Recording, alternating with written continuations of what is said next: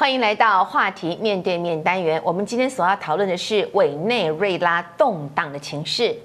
委内瑞拉总统闹了双胞，现任的总统马杜洛跟临时总统瓜伊多各有强权在背后支持他们，而委内瑞拉也成为世界强权的一个角力的战场。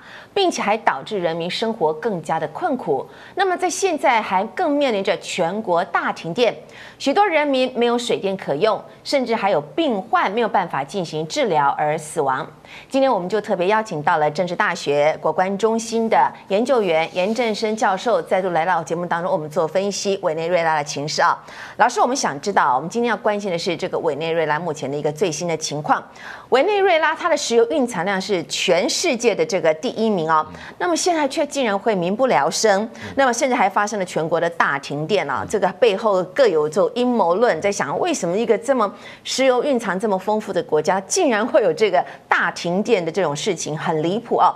那么大家都认为说，一切的主因就是因为委内瑞拉现在的这个总统闹了双胞嘛？哦，这个双胞案的原因就是反对派是不满这个总统马杜洛，那么反对党的领袖瓜伊豆他就是。变成为临时的这个总统，老师，请您先带我们来了解一下目前委内瑞拉呃这个他国内的政治现况是如何？呃，马杜罗哦，大概是去年选上总在连任总统，那可是大家都认为这个选举是有些舞弊，有些不公，但也好长，就是如果你生气抗争，怎么会等到？班这个今年年初才开始比较加速，然后反对党才会推出啊，这个瓜伊豆做了做他们未来的这个临时总统，所以这个是一个蛮值蛮有趣的。但是大概原因不仅是就说马杜罗去年连任有一些这个舞弊的情况，但更重要是连任到现在他没有解决掉委内瑞拉最大的问题，就是他们的通货膨胀，他们说是大概有一百三十万倍啊，就是你知道那个通货膨胀就是。对委内瑞拉这样的一个国家啊，就是过去长期在南美洲算是一个比较先进一点的国家，然后它的民主曾经也是不错的。从一九五八年那时候我们看它最后一次的军事政变，到两千年左右，在这个呃。跟其他的这个南美洲的国家相比啊，譬如说巴西、阿根廷、智利，六零年代、七零年代、秘鲁这些都发生军事政变，所以它还算是一个不错的两党政治国家。但是现在不行了，是，所以这个大概是让人民也觉得很很失望的，就是。政治变成一个独裁的，然后这个经济变成一个通货膨胀很严重，然后又有很高的失业率啊，然后他们当然刚刚主持人讲，石油是蕴藏最丰富，那过去石油是到一个地步，就是石油是比水便宜的了哦，啊，你想想看，它不是沙漠哦，它不是像沙乌地，它是就是一个。啊，而且面临两个海的，是是啊，不面临这个加勒比海，所以应该不是一个缺水的国家。嗯，但是它竟然水是比这个啊这个石油还要昂贵的，所以它石油是非常便宜。我有认得工程师在那边工作的啊，但是后来治安也不好啊，这也是一个大问题。但所以到最后呢，你就发现老百姓大概会觉得说，我们怎么选出一个政府？嗯啊，有这么好的丰富的石油蕴藏，到最后的结果是。不断的这个 GDP 往下走，马杜罗最最近执政这六七年都是在马杜罗执政的这些年才有这样的一个对对对，所以所以这个查韦兹他的前任啊，是也因为石油价格好的时候，那个经济成长的非常好啊，所以他们 这就是大部分石油蕴藏国家最大问题，就是你石油价格好的时候，你怎么做预算？你是以一桶，譬如说。已经一到了一百二十块，你说那我们保守一点，八十块钱好。嗯嗯嗯。明年明年的预算，就怎么知道它的这个石油价格四十块钱？嗯嗯。那你哪来的钱？所以就马上又变成债务很多。啊。所以这个大概是委内瑞拉所所面临的问题，就是现在的石油价格确实也不好，所以他们也是负债累累。是是是，这是委内瑞拉现在的情况啊。那么在国际间呢，对于委内瑞拉的态度是分成两派的啊。我们知道欧美方面是支持这个临时的这个这个。整呃这个代临时总统这个瓜伊豆哦，这个年轻人这样子啊，然后呢，但是俄罗斯跟中国大陆他们只是支持旧的势力，就是原来的马杜罗总统。那么委内瑞拉现在看起来变成这个好像是两大强这个强权之间的一个角力的一个战场啊。那我们想知道为什么委内瑞拉它这个分别这个美中俄这些等世界强权都分边站，分别支持这个瓜伊豆。或者是这个原来的马杜罗总统，除了委内瑞拉原有的这个很丰富的石油蕴藏之外，他们到底图的是？我我们看拉丁美洲啊，大概在二十一世纪初期，我们说有一个拉丁美洲向左转，对不对？所以很多国家都变成左倾，但是最近这一阵子又很多又转回右边了。那仍然在左边的还是就是我们的老牌。左翼政权，古巴啊，像尼加拉瓜，然后还有一个玻利维亚，在现在这些还在承认委内瑞拉啊，就他们是我们南美的左翼兄弟啦。但是其他南美洲的大国，包括巴西啊，这个阿根廷，他们都已经承认呃这个瓜伊多的政府啊。所以，然后如果我们再看世界的强权，欧盟、欧洲的国家跟美国、加拿大都已经承认瓜伊多了，但是俄罗斯、中国、伊朗、土耳其。他们是继续承认马杜罗。那我觉得说，第一个当然俄罗斯他们是一定要跟美国抗争。中国传统上面就是一个不喜欢干涉内政，就是你今天选出来总统是谁，我就接受啊。所以你不可能去换去承认一个临时的政权，它在哪一个国家都是一样啊。这是中国长期的一个传统，不干涉内政的。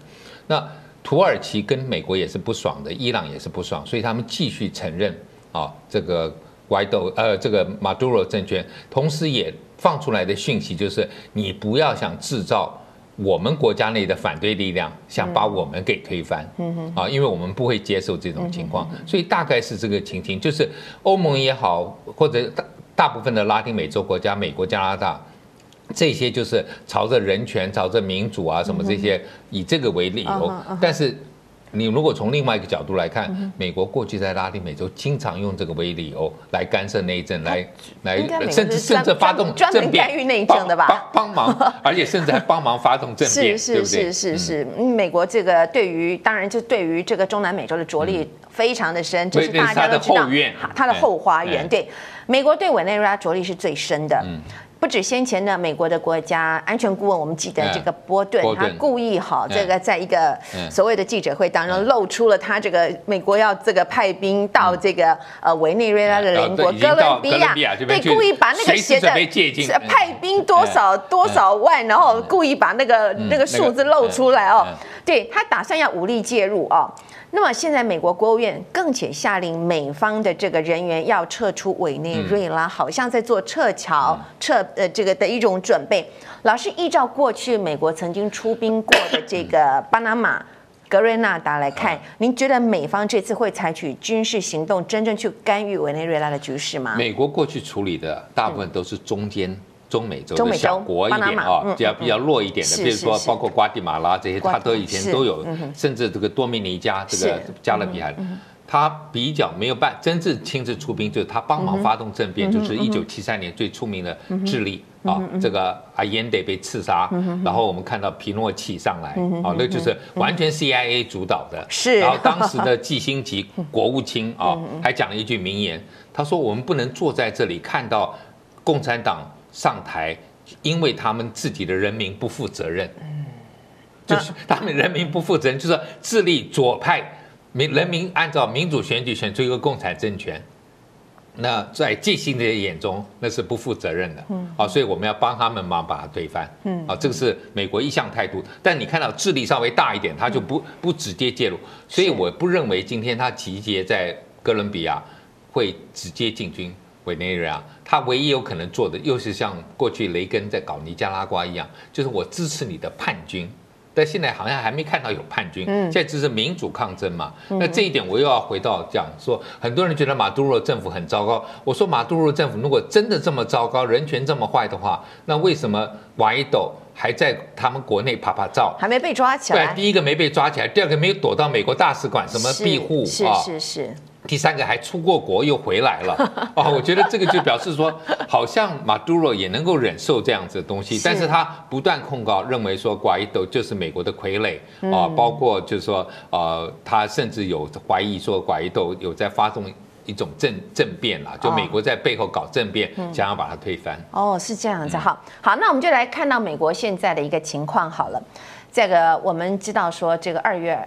二月底那个最热门的全球最最热门的话题就是川金二会在越南登场。啊，但是确实是没有达成任何的协议，就好像是草草的结束了。这个午餐午餐会都没有都没吃哦。好，外界现在就把这个眼光看到原本说是三月底要进行的这个川习会哦，那么之前曾经传出三月底要举行，结果现在又有传言就说，哎，可能是变成四月才有机会川习会上场了。那么川普总统他也表示托表示说他是希望说认为美中未来是非常有很好的机会可以达成一个协议贸易协议，但是呢他也不会仓促行事啊。那么他也希望说能够跟这个中国大陆国家主席习近平来会面哦，能够来敲定贸易协定。但是呢，最近的《纽约时报》又指出说。大陆方面现在其实是对川普有所疑虑的，他们也很怕说，哎，你会不会就像你对待金正恩这样子，就忽然给我拂袖而去？我这个堂堂大国怎么可以容许你这样子哦？所以他们对川普呃有疑虑，所以那个川金会现在可能会停摆吗？那么主要是就是大陆很担心嘛，就是说这个川普的态度这个摇摆不定。老师，您觉得有可能说？呃，这个川普他可能会以对待金正恩的方式来对待中国大陆国家主席习近平吗？我觉得大陆啊，在这个操作外交上面都是非常细腻的。嗯，啊，譬如说上一次习近平到美国访问，他是先到了芬兰，就说我不是专程。访问美国，那这一次是意大利，哈，对，所以，但是如果你今天美国给他一个叫做 stay visit。啊，正式官方官官式的访问，那他可以接受。可是看起来，川普好像还是跟他要在佛罗里达的马拉拉狗见面，而不是在华盛顿 D.C. 啊。所以我觉得大陆方面也会可能有一些要求，那美国也不愿意妥协，所以看起来这个会继续延一下。但是很重要就是，如果我们看最新的一个农业报告，因为现在刚开始春季嘛，美国种大豆又是非常高的比例。嗯，那种出这么多大豆，嗯，大陆不买的话就很麻烦，所以大陆大概也看清楚，今天美国农民种了那么大豆，然后仓库里头都满了。我们知道大豆还跟玉米还有一个好处，至少它就是像我们的米嘛，可以可以储存在谷仓里头。可当你谷仓都满，那个美国那个中西部不是很多那个大像烟囱一样那个 silo，如果那些都满了怎么办？所以。大概还是希望大陆能够多采购美国的大豆啊，这个是美国农民期待。那这也是川普未来在这个中西部明年选举也需要的。嗯，所以大陆是看到这一点，所以大概立场也比较坚持，是就希望美国把这个整个的贸易制裁给拿掉。是是是，我们现在来讲到说，呃，美国政府它原本是预定在三月一号，它对于中国大陆本来是有这个中国的产品两千亿美金的产品，它的关税要从。百分之十要调到百分之二十五哦，这个惩罚性的关税。不过现在现在税率还是维持在百分之十嘛啊，那么也去确认了川普宣布的停战期的延长哈，这个 Grace Period 继续的这个延长下去啊。老师，您觉得说川习会是不是真的有机会让双方真的可以未来可以停止这个贸易战呢？那么双方的核心利益是真的已经达到可以双方都能够接受的程度吗？我觉得就是说。美国是拿到了一些理智啊，那大陆就是挽回了一点面子啊，就是说没有被成为制裁的对象，我觉得这个是够的啊。那大陆当然就是说在很多地方，包括高科技产品的未来的一些开放，或者是说技术不能要求啊美美方一定要转移，这些大陆会让步。智慧财产权，我觉得这些会让步，但是有一些控告大陆的立场，比如华为啊这些什么操作呃这个叫做。介入美国的选举这一类，大概你再去控告大陆，大陆是不能接受的。是是所以这一方面，就是大陆这个面子是拿到，觉得说第一个，美国已经就像您刚才提到的，就是往后延了。是。但这个一延呢，我就觉得说是比较难再恢复了。就是就是，就要不然就是 要不然就再延一次。对。要不然就是取消了。就不会再，就是不会，也就是说，这个关税不可能惩罚性关税，不可能再往上，再往上再调到二十五。而且美国自己国内的啊，这个保守阵营的也不见得能够接受，包括他们的股票啊、华尔街这些东西都觉得不好。所以现在有经济专家指出说，这一次的中美贸易战呢，其实最终美国发动的美方其实是个输家，因为他自己的这个经济上的损失就是也是不，因为川普当然是共和党支持，是。那共和党就是说除了。除了你这个基本教义派这些民粹的人之外，还有一批是做生意的华尔街的。那问题是，华尔街最最不喜欢就是不可预测性。啊。那川普呢，自己把自己的不可预测性当做是他的资产，可是，在在股市啊，在这个经济里头，最讨厌的东西就是不可预测性嘛。对，所以就是现在大家本来就是说，哎，这个川川习会即将上场，美股市大涨。嗯，现在是川习会可能又又延到四月份了。现在就是股市，美国股市也不知道涨跌互见，大家不知道该如何去反应哦。对。那么就像是说这个美洲贸易战，那现在就算是说，如果未来中美达成协议的话哦。竟然发现，对于亚洲地区的国家，像台湾，一直夹在这个夹缝中生存的，在美中贸易大战当中夹缝生存的台湾，经济也受到影响。嗯，马来西亚也受到影响。为什么会这样子？哦，我觉得当然就是说，一旦美国跟这些就是跟中国大陆没有一个惩罚性的关税的时候，那我们其他跟美国之间可以进行。正常贸易的，是。就变成是我们的对手又变强了嘛？是，本来我们对手被打趴了，对，啊，结果现在又变强了一些，所以这对我们还是有。如果说他这个呃，就是美国这个这贸易如果达成协议有谱的话，这个半导体，台湾的这可以是说整个世界的半导体重镇，就是受到了蛮大的影响，因此呢，台湾的 GDP 因此会下降一个 percent 一个百分，哇，这蛮高的了。马来西亚下降零点七个百分比，对，所以这。这个这个跟亚洲地区是被这个在夹缝中，还是都被这美中两强扫到。包括像美国前第一批的关税对钢铝，那都是不没有任何差别的，就是我们台湾也是也是被打了，韩国也被打了，那这个大大陆也被打，这个是一样的。但是假使原来我们认为说大陆会被美国寄出更高的关税，对我们有利，是现在就没有利了嘛？是是是。好，我们刚刚提到这个川普的川跟川金二会二月底在越南哦是。空手而回嘛，哦，现在南韩就有媒体报道说，哎，北韩为了对应对美国的斩首攻击呢，他现在把这个核飞弹的设施竟然是摆在一般的这个民间的设施的附近，分散在民间的设施。呃呃，设施附近，而且并且在北部跟大陆最接壤的这个地方边境建设的一个洲际导弹的一个基地哦。那么好像现在有相关的这个证据都陆陆续续的被公开啊。老师，我们想要知道说，假如北韩它是真的没有契合的这个打算，那么对于美国跟大陆之间会有什么样的影响？那么因为过过去川普总统对于北韩做了这么多的协商，现在不是给他打脸吗？嗯嗯，我们这样子看，中国大陆乐于见到 川普总统被打脸吗？我们看到的就是说，美国跟这个北韩的啊这个谈判当中，一开头提出这个所谓的 CVID，对不对？是是是，完全的 complete 啊，然后呢 verifiable 就可以可以去查证，irreversible 无可逆转的啊，denuclearization 然后去核去核。但是你知道，美国当时跟在冷战期间跟苏联的这种核武谈判的时候，一开头是什么？一开头是说，哎，我们有好多，但我们不要限搞一个限制 limitation，对不对？那个 SALT S A L T 那个 L 就是 limitation，就是我们限制你有五百了，我们限制以后就不要超过五百五好了。这是第一波啊。这样子谈判的，就是当你拥有核武不断发展、不断增加，说他说我们搞一个天花板吧，不要那么多嘛，对不对？我们就现在拥有的可以把全世界炸死好几次、好几次啊，不必那么多。好，那是第一个。第二段才到那个 reduction talk，就减少。哎，美苏谈了四五十年、四十年都没有谈到什么废掉，嗯，哦，只是 reduction 减少。所以，如果我们从这两个角度来看，你凭什么会认为说金正恩？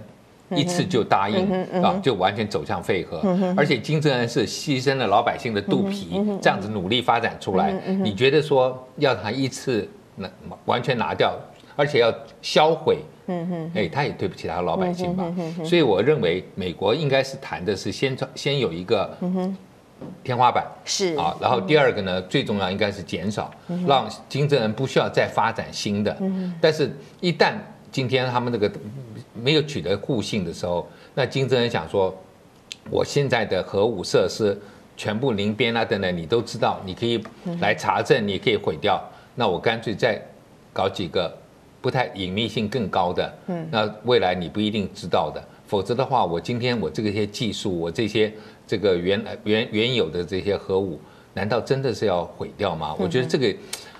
非常难的一个事是。那么，这个呃，中国大陆对于金正恩跟美国之间的这个这个去核的这种态度到底是如何？中国大陆是希望金正恩比较乖一点呢，还是呃正做到去核化，还是保留一个让这个中国大陆可以有？我觉得中国大陆着力的空间最希望就是说，嗯，好，你金正恩已经证明你有核武了，你也证明你有这个洲际飞弹了，可以了，不用再试试射了，不用再试爆了。国际间你已经是一个，你已经试了，好了，就 就是 C 咖了，那就不用，这个对大家都有利。可是如果金正恩又开始。一这个这个试射飞弹，那当然对大陆不好，嗯啊，那对大大陆也不赞成。王毅也讲过，他完全不赞成这个，他就是说，他讲的是叫做双方的啊，互相让一步嘛，对不对？所以，但是呢，他今天我们看到他金正恩会躲在靠近中国大陆边界弄一些东西，就表示说，万一我有什么东西，我希望中国大陆能够，美国如果把金正恩的所有的核武啊都毁掉，他至少可以靠大陆。那边还可以恢复。嗯嗯嗯，好，那么我们来看看，回头看看，在美国啊，川普总统他其实在美国国内的日子也不是太好过嘛啊。自从这个二月，他几乎每天都不好过，但是他天天过。而且天天狂言，狂言，对对对，照样狂言。对他这个从这个川普呃川金二会就是草草结束回国之后，当然就是在国内就是，而且当天民主党很不给面子，就就是传讯他的私人律师 Michael Cohen，是是，而且这个他后来在这个共和党的一个 gathering 也是哇狂骂，也是有点失控的骂哦。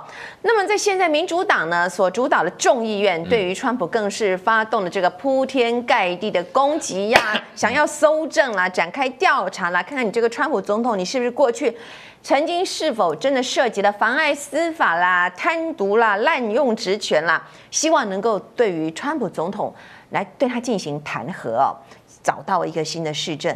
那老师，请问一下，那现在众议院这些共和党呃不民主党所的动作，真的就是完全是看在二零二零的总统？我觉得刚才主持人提到弹劾。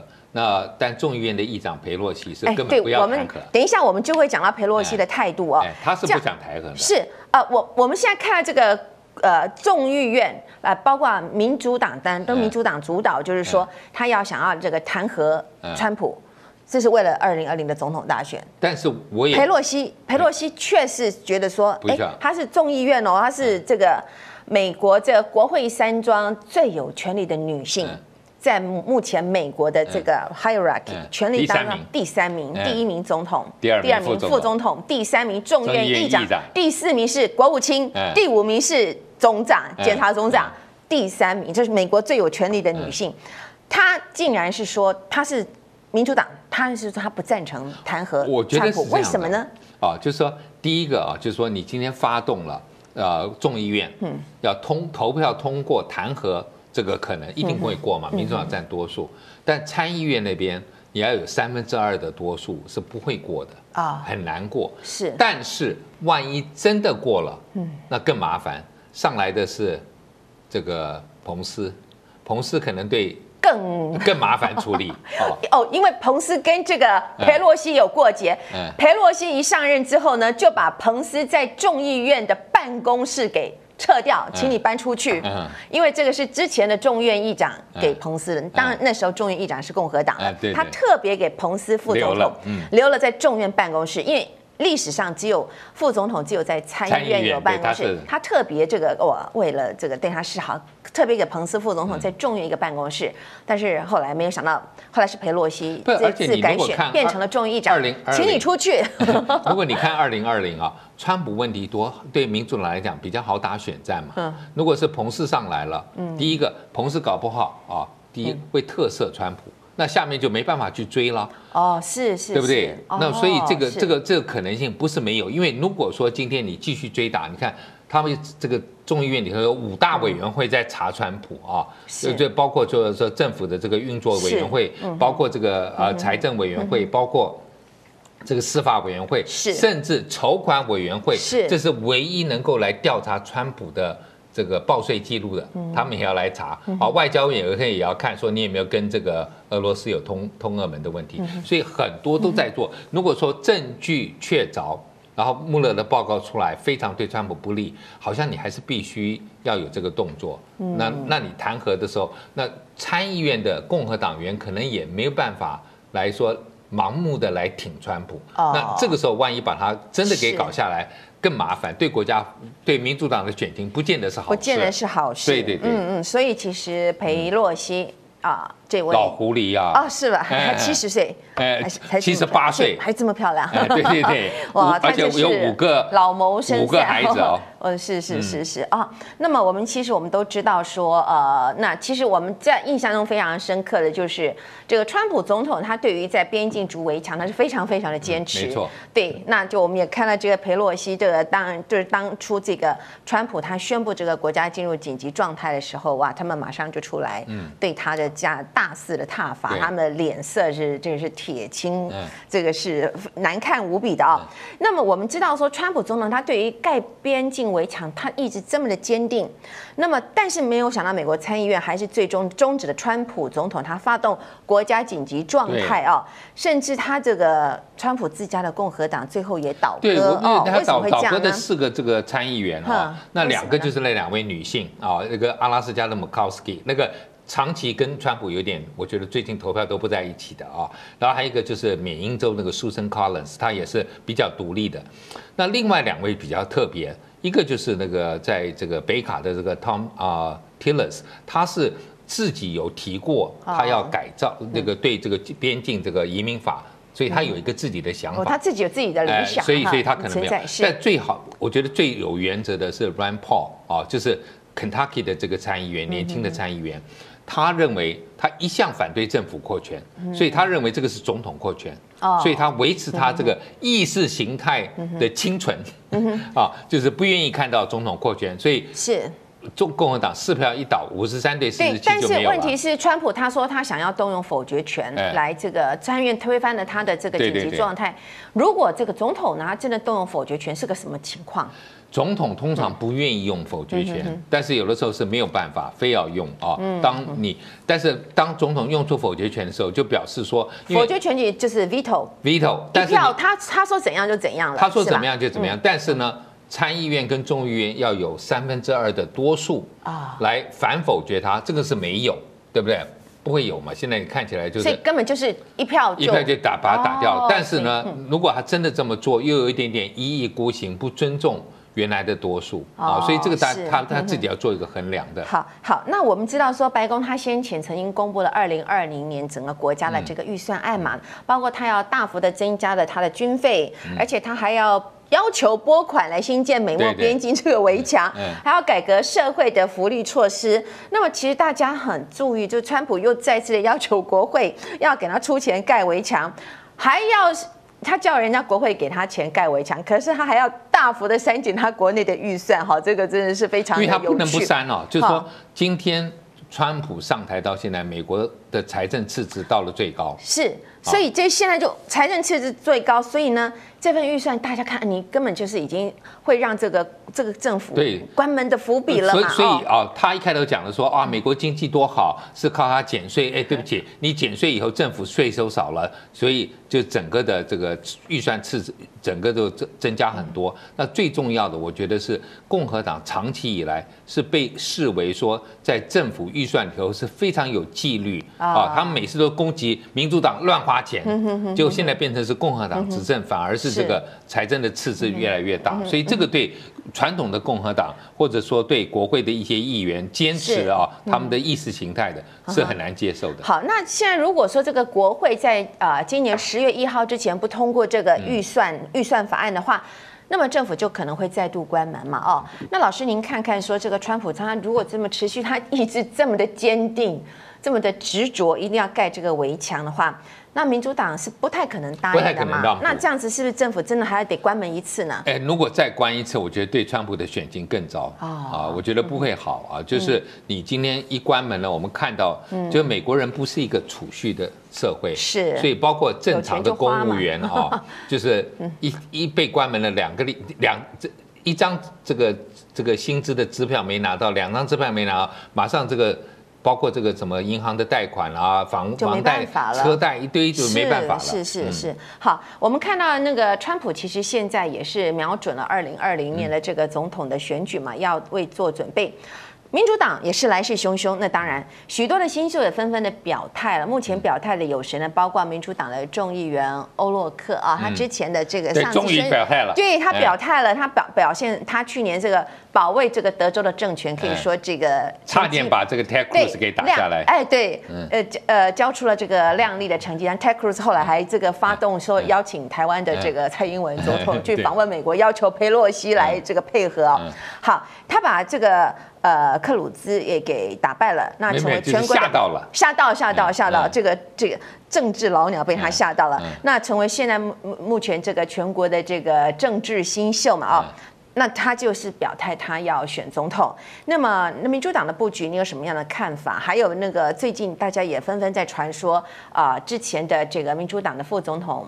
拜登他也可能会出来角逐，虽然他已经高龄七十几了。啊，但拜登是这样子，在所有的民调当中他是领先的。啊。那可是大家也说你领先是因为你大家都认得你，你只是知名度高，知名度高。啊，不见得能够转转换成支持度。啊。但是无论如何他是有意愿。那。排名第二，现在目前是 Bernie Sanders，是是。那上次也选过，这两个都是第一个，两个都是白人，然后两个都七十几岁了，好久。是是。所以大家就在看，那其他宣布的，包括女性的，像加州参议员 Harris 啊这些，或者明尼苏达这个 Amy Amy Klobuchar，这些都是女性参议员啊。然后还有男性的参议员啊，Booker 在这个 New Jersey 的，还有像这个西班牙裔的 Castro，他过去在这个。圣安东尼奥当市长，然后做过做过这个奥巴马政府里头住宅的部长啊，所以一看哇，全部都报道了，包括台湾的 Richard Richard 杨啊，所以等于是这个也也宣布对对，所以有亚裔、有拉丁裔、有黑人、有女性，全都有，还甚至还有这个南湾啊，就是圣母大学所在地这个市长啊 b o u t i k 他是同性恋的。嗯，啊，所以所有民主党的这个代表的族群，包括老 LGBT，哎，全部都到了啊。那最有意思，我觉得是这个南湾的这个市长，他就挑战他们原来印第安纳州的州长 Mike Pence 的副总统，他说：“你这么保守的，你这么热爱你的这个基督教信仰，那你怎么可以支持一个天天跟这个？”啊，porn star 在一起的 总统。啊，他说，哦，是是，哎，所以所以就非常的虔诚，所以这一次很虔诚的啊，基督教徒，嗯，Michael Pence 副总统怎么可以支持一个常常跟这些什么花花公子啦，什么处女郎，处女郎这个。这个画三级片的三级片的这种 A V 的这些这些好常跟这些被被传说有这样传闻的总统来，然后你还那么忠心，还怎么是 是，那你应该辞职，所以蛮好看的这一次啊，就是说各种的不同的。啊，民主党的我说基本盘里头的 啊，各种不同的人物，这次都有代表出来，所以已经现在已经有十几个了嘛。是是是，所以我们真的还要持续来继续来锁定、来关注下去哦。这个距离明年的二零二零美国的总统大选，非常有意思。对，非常有意思，我们要持续的来关注下去啊。但最重要是，川普讲的是，在这个演说说：“I miss you, Hillary。”好好，但是 Hillary 已经宣布宣布不选了，不跟你玩了。对，川普还讲说，在演说说时。我好想念你哦！我不想再见你了。是是是，好的。今天的慧眼看天下，我们带您一起深入剖析了委内瑞拉的政局，以及美国跟中国大陆所扮演的角色。未来还有更多的国际消息，也请您持续的锁定慧眼看天下。我是王宝慧，下周同一时间我们再会。